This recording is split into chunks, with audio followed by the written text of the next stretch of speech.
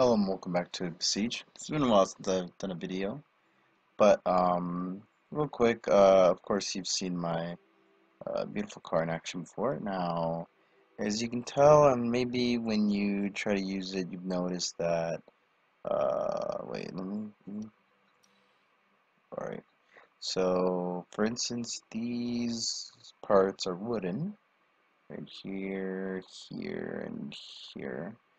The uh, wheels are wooden as well. And you might be set on fire. Now, they added a new block. Uh, I forget how recent, was recent. Now, that's shrapnel. Where's the... Does it count on weaponry? Ah, water cannon. Now, you can face it inwards towards you so you can set water on yourself. Actually, I'll just, I'll just do it for these. All of these options. We like options, you know what I mean? Alright, so let's control this sucker. Oh my gosh, why does it do that? Anyways, let's see.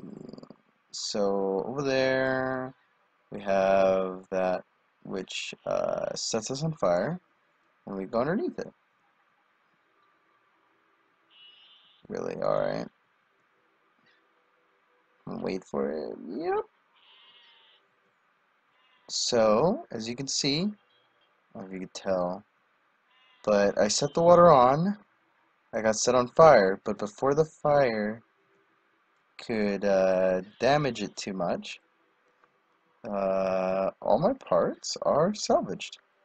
It's a little tip you can do to uh, stubbornly use wood and not have to suffer from uh, wood burns.